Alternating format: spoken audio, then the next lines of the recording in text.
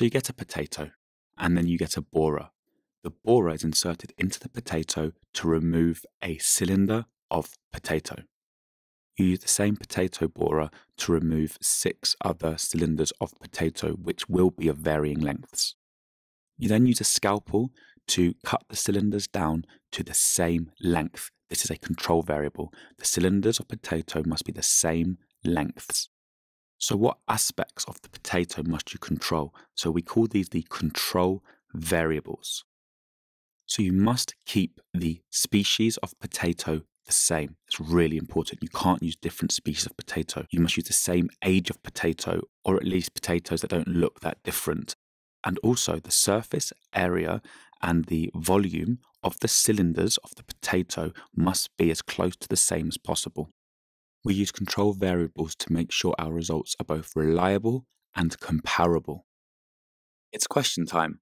Attempt these questions to check your understanding.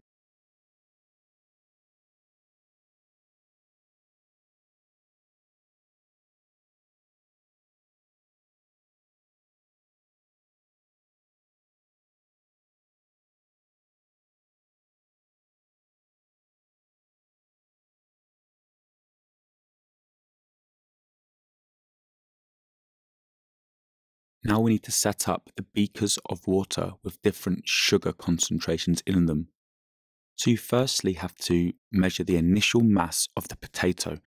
And you do this for all of your potato cylinders. And then you place them inside the differing sugar concentrations for the same amount of time. So in this case, they all stay in the sugar solutions for 30 minutes only.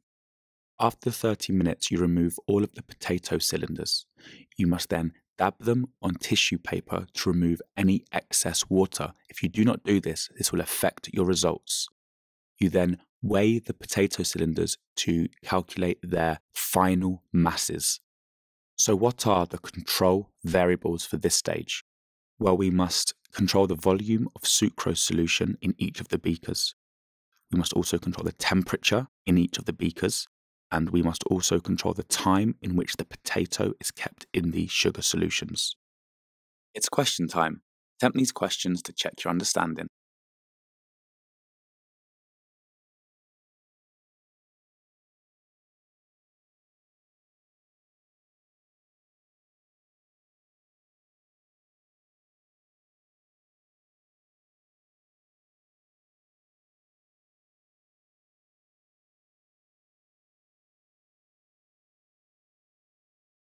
So the data you needed to have recorded was the initial mass for each potato cylinder, and then once you've taken it out, the final mass after it's been in the sugar solution for 30 minutes. Because we controlled the volume and shape of the initial cylinders, the initial masses should be very close to being the same mass. So in this case, they're all around 5.7 or 5.8 grams. However, the final masses will all be different. This is because the potatoes have been in different sugar concentrations. So as you can see here, we have a range of results from 6.5 grams to 5.5 grams for the final mass. So we now use the equation Percentage change equals final mass minus initial mass divided by initial mass times by 100 to calculate the percentage change in mass of the potatoes. This is to compare the results.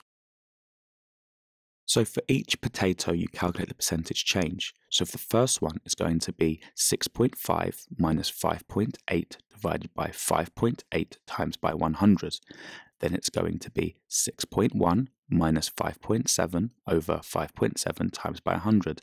And this process repeats itself. It is the final mass minus the initial mass divided by the initial mass times by 100. And you can get and will get both positive and negative percentage change of masses. It's question time. Attempt these questions to check your understanding.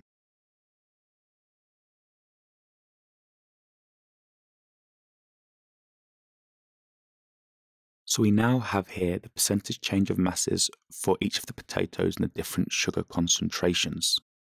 We're now going to draw a graph, and this is going to be percentage change in mass on the y-axis against sugar concentration on the x-axis. And as you can see here, I'm plotting the percentage change against the sugar concentration, and you should get a reasonably straight, inversely proportional straight line. You then use a ruler, which I'm stupidly not doing, to draw a line of best fit going through as many of the points as possible. And it is at the point where there is zero percentage change in mass. So it's the point where the line intersects the x axis, whereby this is the concentration of sugar inside the potato. So the sugar concentration for this experiment inside the potato is approximately just below 0.6 moles. Press pause to answer the questions. The answers will follow. And if you're stuck, just rewatch the video. Press pause to go through your answers and make any corrections to your mistakes. Visit kayscience.com for more free videos, worksheets, and quizzes at kayscience.com. And don't forget to like and subscribe.